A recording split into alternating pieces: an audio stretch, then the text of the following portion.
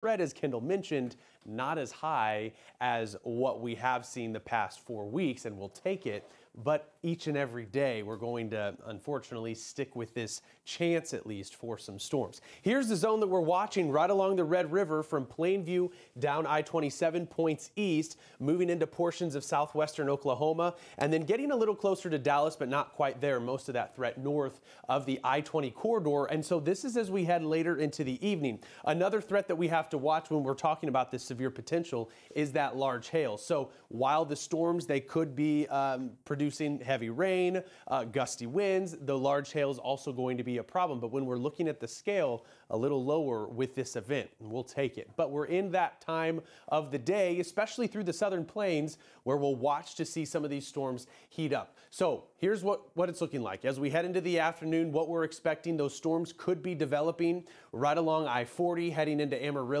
mostly to the east, and also with the newest outlook that we have, it appears to be south of Amarillo, but we'll have to see. Some energy is going to be crossing over the, the Rockies, and we have enough divergence aloft to where maybe some of these storms could be uh, producing some hail and gusty winds. There are those storms as we head into the evening hours, and then as we track these showers through even Missouri, it's going to be more of a rain, and the storms continuing even as we head into the overnight hours. The good news is that, though, these storms aren't expected to be on the severe side, and we'll take it as they make that approach to uh, Arklatex. Now, tomorrow will bring its own threat, too, as the atmosphere has a little bit of time to uh, recharge. From Joplin down to Tulsa and Oklahoma City, it's going to be Wednesday afternoon that we have to watch for this zone. A slightly higher threat on the likely side, level two out of five. So we'll watch that, that I-44 corridor. Amarillo, Texas, what's that forecast? Might be able to squeak by today without a storm. Can't totally rule it out, but it does appear that that threat's going to be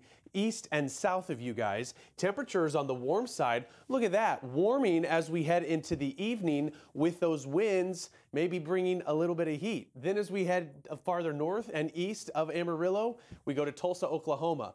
81 degrees on Wednesday, but we have those storm chances that are going to be ramping up this evening. And then certainly as we head into the day on Wednesday, that's when the threat's going to be the highest. And then we go into Joplin. What we're expecting there in Joplin, southwestern Missouri, temperatures in the 60s today, a dry day. Those storm chances, though, arrive on Wednesday. That's when we have that threat for severe weather. Temperatures overall, though, not too bad, perhaps 75 by Thursday.